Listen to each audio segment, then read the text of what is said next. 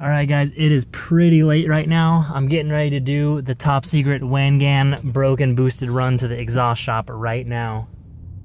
I'm freaking moving all the cars out of the driveway so I can get it out of its little tucked away corner.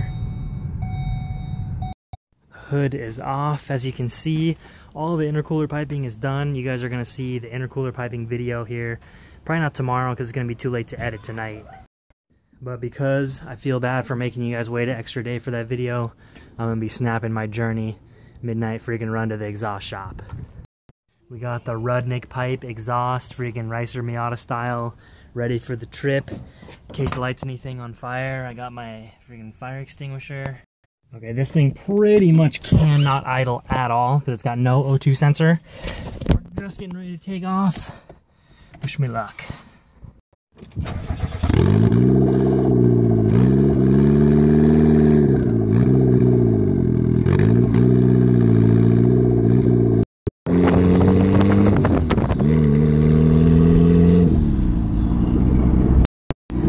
About two minutes in, three minutes in. So far, so good, but I'm a little worried about the freeway, to be honest, and the heat that this pipe is gonna generate.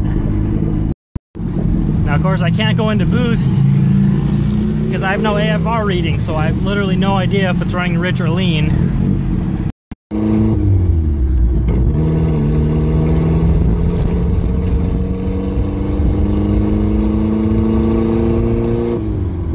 Maybe just a couple PSI, but just for you guys. Just for you guys.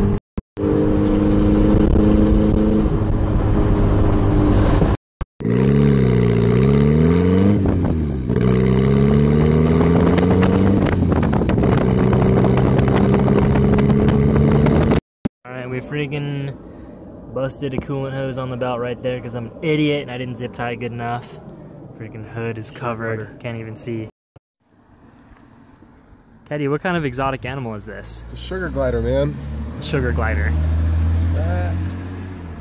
I have repaired the hose. I cut off the part with the hole in it and it was just barely long enough to make it there. Zip tied it out of the way. Gonna add some water and head to the shop.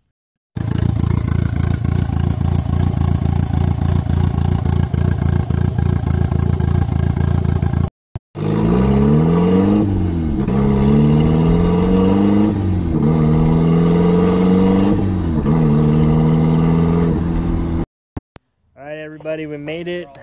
Nothing caught on fire, didn't even get to use my fire extinguisher. We're gonna have a downpipe made for this thing, put into the stock exhaust.